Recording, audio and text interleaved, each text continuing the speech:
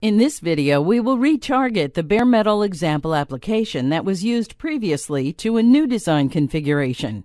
We will create a new board target in a bare metal project. Then we will modify the Icicle Kit reference design using the MSS configurator. And finally, we will set the PolarFire SOC configuration generator paths. Before creating a new board configuration, you must ensure that you have imported the MPFS Real-Time Clock Time Example project into Soft Console as seen in the previous video. In this example, we will create an Icicle Kit configuration folder. To do this, right-click on Boards, select New Folder, and call it My Icicle Kit Configuration. Next, select the folder that you created and create three subfolders. Firstly, create the FPGA design subfolder, which contains the XML generated by the MSS configurator. This also needs a design description subfolder. Next, there is the FPGA design config folder, which contains the auto-generated header files that describe the PolarFire SOC configuration, and finally, the platform config folder, which contains custom linker scripts and the saved MSS configurations, which can be modified with the MSS configurator. Next, navigate to github.com forward slash polarfire SOC and download a copy of the Icicle Kit reference design from the Icicle Kit reference design repository. Once the zip is downloaded, extract the files so they can be accessed.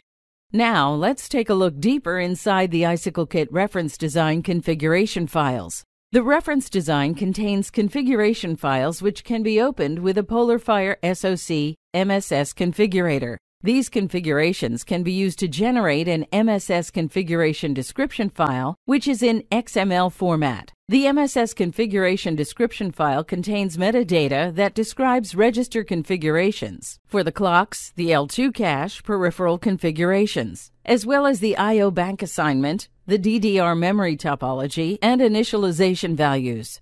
The MSS configuration description file can then be imported to Soft Console to automatically generate the header files required by the platform, which we will do in a moment. First, open the PolarFire SOC MSS configurator. You can do so by searching for it in your toolbar. Then we want to open the project. To do so, go to Project and select Open. Navigate to where you downloaded the reference design, and then from here go to the script support folder and find the CFG file. Select the config file, and once it's open, navigate to the Clocks tab. And here we will change the MSS PLL clock frequency from 600 MHz to 300 MHz. Once you've done that, click the yellow cylinder at the top to generate the output files. The software will prompt you to select a folder to store the generated outputs. You can create a new folder for these and then click Select Folder, and it will generate the outputs to that folder. The files generated from the previous steps in the MSS configurator are the MSS configuration project file in config format. There is also a Libero MSS component file as a CXZ file.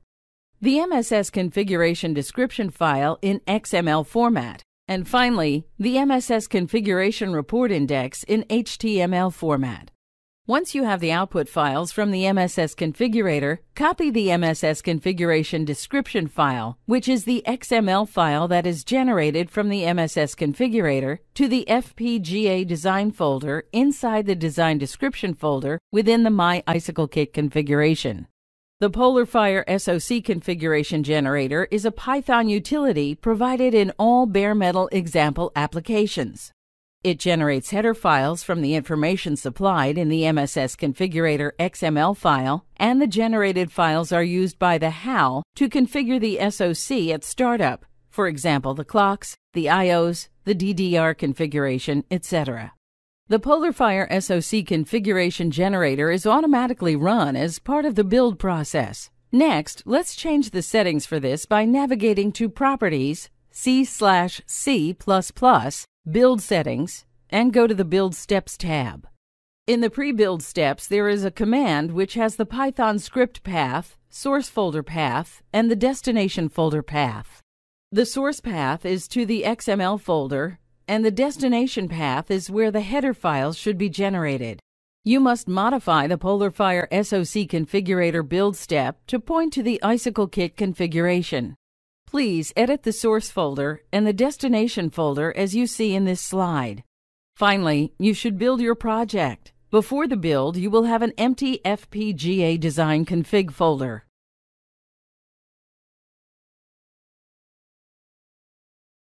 And after the build, this folder will be filled with the generated configuration files, which can be seen on the right-hand side of the screen. Finally, to verify the design changes in the XML file, you can go to Source, Boards, My Icicle Kit Configuration, Clocks, and go to your hardware mssclocks.h file. In this file, if you scroll down, you will see your Libero settings for the MSS Coreplex CPU clock has a value of 6 million hex. Now rebuild the project, which will take a minute.